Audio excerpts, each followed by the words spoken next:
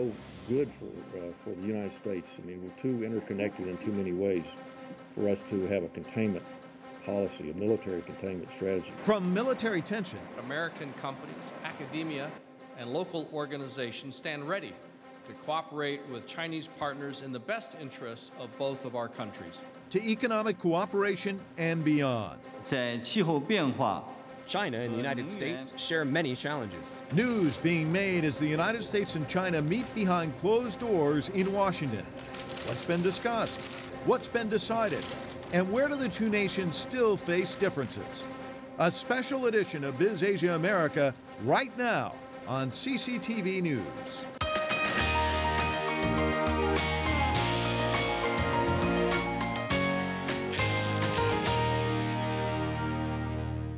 Thanks so much for staying with Biz Asia America. I'm Mike Walter. And I'm Philip Yin. Michelle Makori is standing by to join us from New York City on what has been another historic day. That's absolutely right. This day marked the conclusion of the fifth annual Strategic and Economic Dialogue. In short, some of the most important talks between the United States and China of the year. And we've heard just about everything discussed from Edward Snowden to cybersecurity to trade to military moves and including climate change. And you know, it takes months to put something like this together. I mean, they started working on this about five months ago, just trading conversations just to get all of these people in the same room to carry on these conversations this week. You think there's a lot of thank you notes they're going to get ready to write up that to send each other when they both get back to their respective desks? I suspect they're probably already working on those as well. You know who will know is Nathan and Jessica. They've been watching this, and they're at the hotel where the dinner is going on tonight, that uh, final evening together. 不要做对手，我们要继续密切、高层交往，通过两国领导 That's right. In fact, uh, this is the dinner in honour of the U.S. Strategic and Economic Dialogue. We're keeping our voices now because Yang Jiechi is actually speaking, and we want to give him some respect as he goes through his remarks. But what he said earlier, uh, wrapping up uh, this two-day event, was that basically the U.S. and China have to get out of the zero-sum game. Uh, where if one wins, the other one loses. It's got to turn to a sort of win-win situation. And Jessica, that applies not just to the strategic sphere, but the economic one as well. Absolutely, and we have some fairly big progress to report on the economic track today. Of course, we heard earlier from uh, Vice Premier Wang Yang making a number of humorous remarks to the audience here this evening, but throughout the day, he has really carried and co-chaired the economic talks out of which came some big prog- progress on the bilateral investment treaty. Uh, they both sides agreed on Thursday, the final day of the talks, that China would include all areas of investment, all areas of its economic market in that deal. We don't know when those negotiations will begin, but it's important that it will begin under these circumstances. Have a listen. China announced its intention to negotiate a high standard bilateral investment treaty with us that will include all stages of investment and all sectors. A significant breakthrough and the first time China has agreed to do so with another country. The U.S. pledges to welcome investment from China, including investment of SOEs and sovereign wealth funds. The U.S. also pledges that security review will only be based on national security.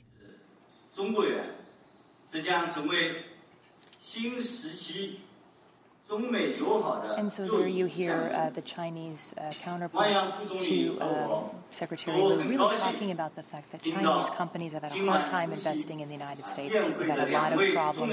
China, uh, China's Huawei, ZTE, uh, Smithfield Foods, most recently, all examples of, of, companies that have tried to merge with U.S. companies and have had some problems. Of course, that goes in the reverse as well. That was a topic of conversation. But let's get to your news on the security track. Yeah, you know, we've been waiting all week for the military to military uh, uh, aspect of these talks. They were held behind closed doors, but what we can say is that both countries have announced that they're going to set up a mechanism to warn each other when they're having major military activities. Now, why is this? Well, remember back in April 2001 with the Hainan Island incident and the American pilots, they want to avoid that as, as China grows and the US rebalances, uh, of course, uh, to the Pacific. But of course, there's still some mistrust. Let's take a look. As military discussions between China and the United States continue in Washington, the Chinese Navy and its Russian counterparts hold the largest joint exercise China has ever staged with a foreign country, an example of China's growing might. Here in Washington, that growth is part of the military to military dialogue. at the centre of this week's annual strategic dialogue meeting that covers security as well as economic issues. America's commander in the Pacific says the US accepts and welcomes China's naval expansion and calls it inevitable. He acknowledged that the two countries interpret maritime law differently, but is optimistic the two sides can avoid tensions on the high seas.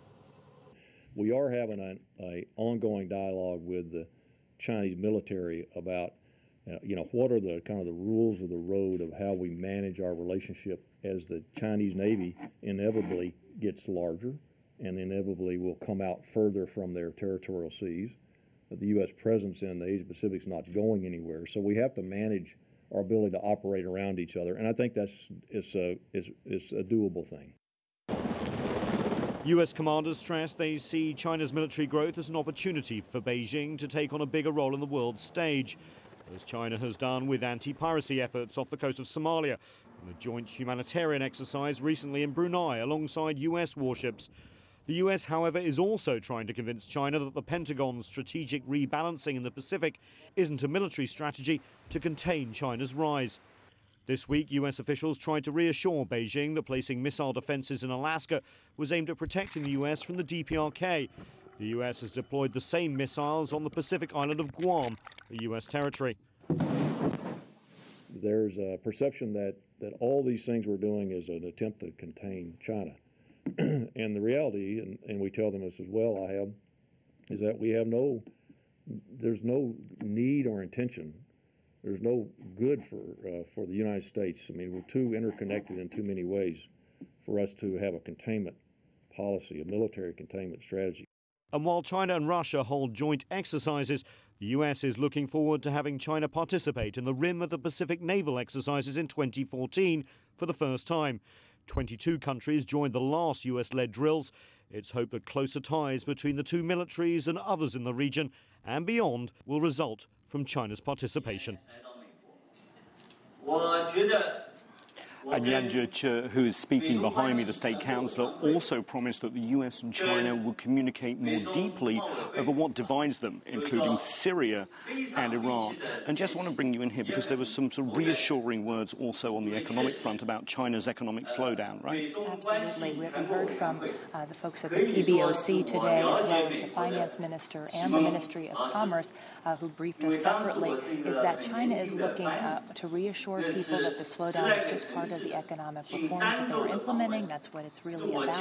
And in addition, they get, did get a word in with the Federal Reserve because we know that Chairman Bernanke was at the table with the U.S. Central Bank, and they were able to express to the Americans that they would like to see an, a sooner exit rather than a uh, longer-term exit from the quantitative easing program, which of course is the stimulus that the United States has been doing to promote its own growth. Back to you, Mike. All right, Jessica Stone and Nathan King, live for us in Washington, D.C. Thanks so much. Well, as Phil mentioned earlier in the broadcast, one of the points of contention between the United States and China is cybersecurity. The Obama administration claims China steals intellectual property, trade secrets, and other proprietary information. And in response, China claims the U.S. is making a false distinction between economic theft and other forms of espionage. So, what happened behind closed doors? Well, here's what a senior U.S. administration official said this week what we are concerned about is cyber enabled, government sponsored theft of intellectual property. And the Chinese do understand what we're talking about, and it's not the same as what they're talking about. Joining us to talk more about this is Brandon Andrews, a legislative specialist at Inside America. We've seen a lot of uh, smiles and glad handing. Sure. Everyone seems to be getting along well, but this seems to be one bone of contention between these two countries. Wouldn't you agree? Sure, I do. And you know, they took a step forward by having the first cybersecurity working group uh, within the, the entire summit earlier this week. Now, as you said, there's a lot of smiles, and a lot of glad handing, but one positive thing that may come out of that cybersecurity working group is a responsibility factor. So China taking responsibility for hackers that hack into U.S. systems, and the U.S. taking full responsibility for U.S. hackers or folks based in the U.S. who may hack into Chinese systems. That's a first step. Um, there's certainly a long way to go, but something positive that's come out of this. I had talked to a, a former Assistant Secretary of State, Kurt Campbell, earlier this week, and he said that this is really an area where both countries can benefit if they, if they could just come up with guidelines, because this is a problem everywhere. Sure It really is. And, you know, it's, it's a problem in the security space. So when you think about the Department of Defense, the NSA, the CIA, et cetera, but it's also a really big problem uh, in the economic space. So you talk about supply chain, you talk about the manufacturer and sale of counterfeit parts, parts that may have some backdoor that links back to China or somewhere else that have been sold to the US. And so the economic effect of not having clear guidelines in the cyberspace uh, is really the, the, the, biggest thing. You know, uh, there were a lot of uh, officials in the United States who were beating up on China, saying, you know, they, they can't just say sure. everybody does this.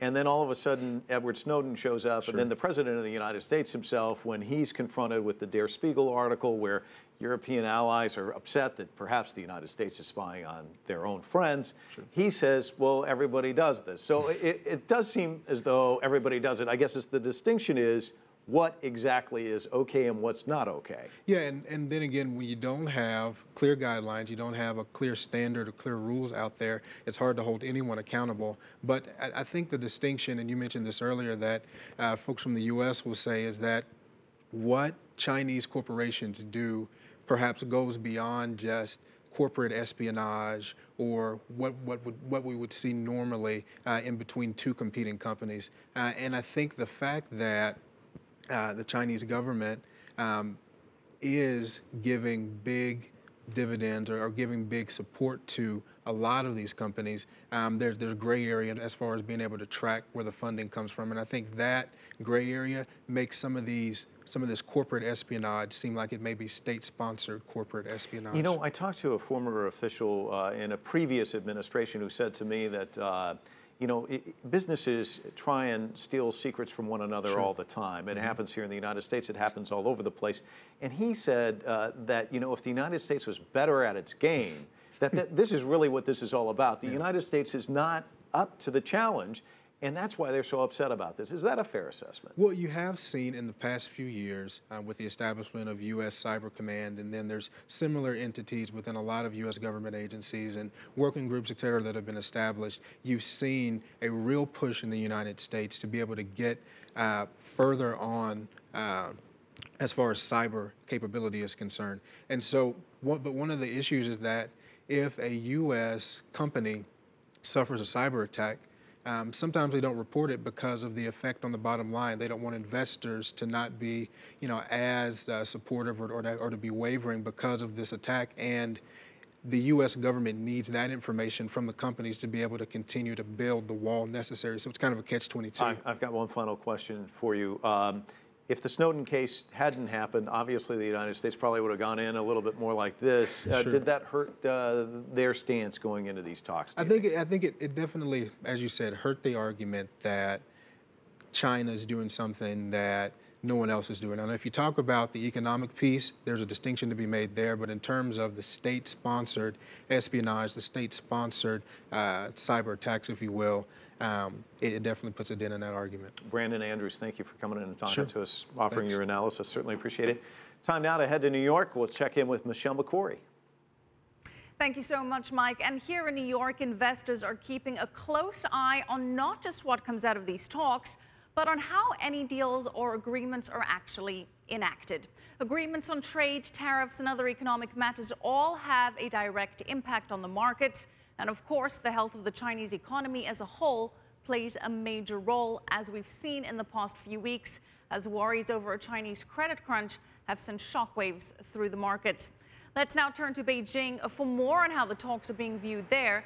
And for that, we go to CCTV's ah Ai Yang. Ai. Hi, Michelle. Well, first of all, uh, Beijing this time has generally covered the uh, strategic and economic dialogue in a very positive light. And uh, although it's still early morning in Beijing right now, the domestic media have already picked up some of the highlights from the, from the results, and one of them is the bilateral investment treaty. Of course, the talk started more than five years ago, but uh, this time uh, the negotiation is thought to have uh, seen some breakthroughs, and this, of course, will be uh, good news for both China and the United States because it means in the future both markets may be uh, further opened up for each other. For example, right now we know that U.S. investors face uh, a number of barriers, including some uh, uh, ownership limits in up to 90 domestic sectors here in China. But the bilateral investment treaty may mean that in the future, China is willing to loosen some of the restrictions and even welcome foreign funds into some of these state-owned enterprises. And also, similarly for China, we know that in the past, a number of Chinese companies, including but uh, not limited to, uh, such as phone makers Huawei and ZTE, pork producer Shuanghui, as well as uh, the uh, heavy machinery SANY Corporation, have all experienced frustrations doing businesses in the United States. But the, uh, the bilateral investment treaty may mean that the U.S. is willing to open up its market further for Chinese investors as well. But of course, the, uh, the treaty is still under negotiation right now, so we have to wait and see how uh, the two markets are willing to further open up to each other. Okay, thank you so much, Ai Yang, live for us in Beijing. So will we really see the dawn of a new chapter in U.S.-China relations? Joining us for more on this is uh, Lee, author of What the U.S. Can Learn from China and adjunct professor of economics and finance at New York University. And thanks so much for joining us. We've seen some thorny issues come up from cybersecurity to trade. What have been the most contentious points both for the U.S. and for China? From an economic standpoint, we are quite familiar with the issues of currency, uh, because the U.S. have often accused China of keeping the currency too low. And then obviously, trade and investment are also thorny issues. Uh, in the past, China has been the recipient of a lot of foreign direct investment, but lately, the, the trend is reversing. So China is now investing in a lot of other countries, as we've seen in Africa and Latin America. And China has been trying to invest in the US, but there have been a number of high profile cases where their investments have been blocked. And the most recent one is the Smithfield uh, pork acquisition, where uh, Still even, under review. Under review, but clearly there's political pressure from opinion polls basically saying that, you know, a lot of Americans oppose the acquisition uh, on security issues, which for a lot of folks who understand what's really going on find it truly ludicrous because they find that there is no security issue here, but it's more political. Um, and so I think this is an area where the Chinese really want to address with the United States because if you don't have open investments where both sides are trying to play by the rules and there are no security issues involved, and yet they are still being blocked, then that becomes a real barrier to good relations. Uh, and economic relations has been underpinning the, the real relationship between US and China. Right, so both sides came into this with a couple of contentious points on their own. As the dialogue wraps up, where do you think we're likely to see the most breakthrough? Which areas can we foresee being resolved in the not too distant future? I would suspect that it's probably an area of clean technology because Obama has made a lot of public comments that this is an area he cares about, that we have to be responsible about climate change and um, carbon reductions the Chinese have also said the same thing, and in fact, China has made a lot of investments into alternative energy. They're uh, the leader in wind technology investments as well as in solar, as many people know. And I feel that this could be a low-hanging fruit where research and joint development and joint ventures can happen uh, without too much establishment interest trying to block things both of the countries have said that they have an intention for a bilateral investment agreement. That's a pretty big coup, isn't it? It would be if it happens. Uh, unfortunately, I think there's so much political constipation in Washington that I don't see that happening anytime soon. Uh, anytime someone mentions the word China, it evokes emotional responses from people that even when it comes to bilateral investments? Absolutely. It's uh, it, has been associated with things as far as human rights and other areas that have nothing to do with investments. So this uh, gets muddied and and it makes it difficult to have real logical uh, negotiations around these things. But uh, I suspect that because the United States needs to create a lot of new jobs, China also needs that uh, imperative as well, that hopefully they can find areas where they can Okay. do that. Okay, so still a long way to go in terms of some concrete progress. That's uh, Ann Lee, author of What the U.S. Can Learn from China. For more on the strategic economic dialogue, it's back to Phil in D.C. Phil. All right, Michelle, thank you very much. We're going to come back to you in just a short bit. You've got other big news as well. Now, as the U.S. and China move to boost cooperation on many economic issues in their talks, there is no such spirit of friendship as a court here in Washington. The case between a Chinese company and the President of the United States shows just how far the two countries have to go. CCTV reports. Ralls, owned by Chinese industrial giant Sany Group, has held its second hearing against President Obama after his executive order barred Ralls' wind farm project near a U.S. naval facility in Oregon. The focus of this 90 minute hearing is over the issues of whether Ralls owns the property interest of the project and whether it had a meaningful opportunity to be notified about the order before it was issued. In recent years, Chinese investment in the U.S. has been climbing. By the end of 2012, the non-finance direct investment reached 90 billion U.S. dollars. An important portion of that investment is attributed to Chinese companies merging with and acquiring American ones. China has had success in buying some U.S. companies, but there have been cases where deals collapsed due in large part by resistance from American government and lawmakers. Most Chinese companies are keeping silent when suffering setbacks, but Ralls is fighting back. Chinese companies usually talk very little and keep a low profile in the effort to calm things down when there's a conflict. They even make a lot of compromise when they're involved in trade disputes. But I don't think that's the American way. We must try to make our voice heard by the U.S. government like the Americans do. We should try to resolve problems in the U.S. in the American way. Ralls bought this wind farm from a Greek company, but as soon as this Chinese company took the project, the smooth operation ran into trouble. I think it's unfair to us because before we purchased the wind farm, the Greek company had completed all the procedures for approval, including that from the military authorities. But as soon as we took over the project, it became an issue affecting national security. Of course, China is not treated the same way as Britain or Greece. We have defense treaties with those countries. The US and China are much more likely to go into a conflict than the US and Greece. So the national security risk from a Chinese company or a Russian company or an Iranian company is very different than the national security risk from a Greek company. The judge did not announce the rulings today, and it may take about one or two months for the result. Ralls said it's very confident about winning the case and will fight until there's no place to sue. Wang Hui, CCTV.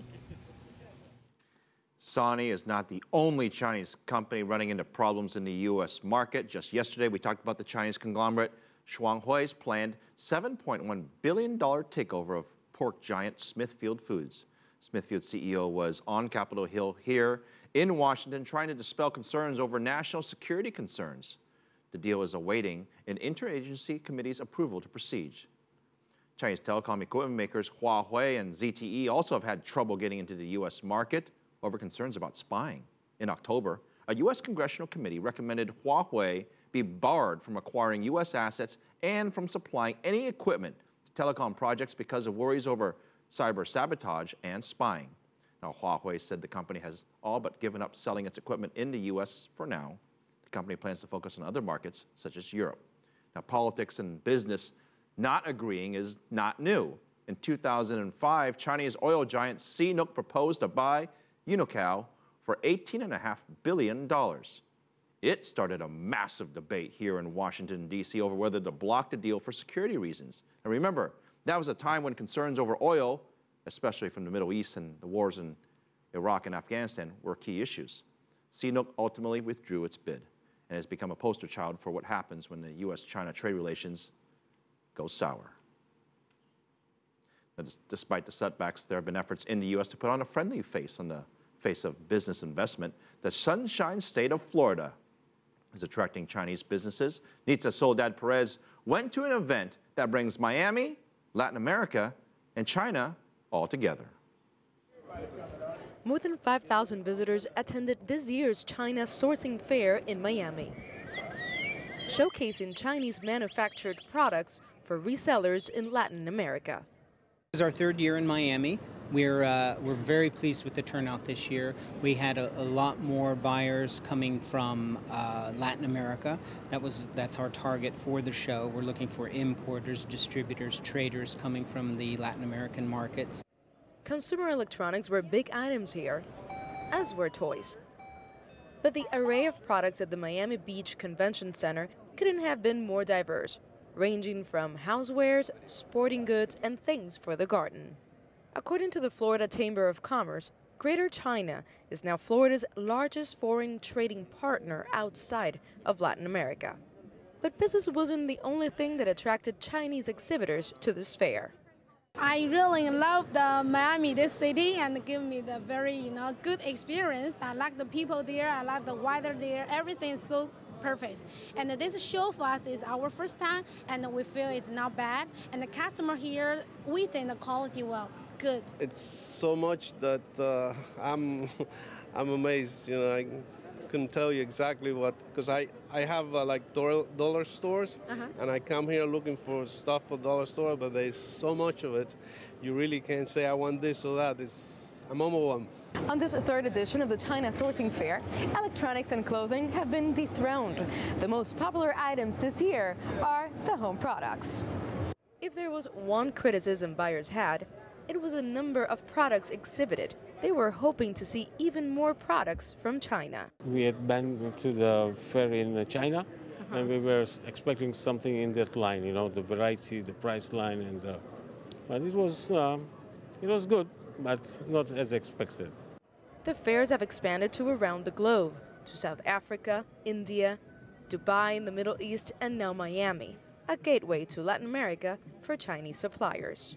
Nitza Soledad Perez, CCTV, Miami.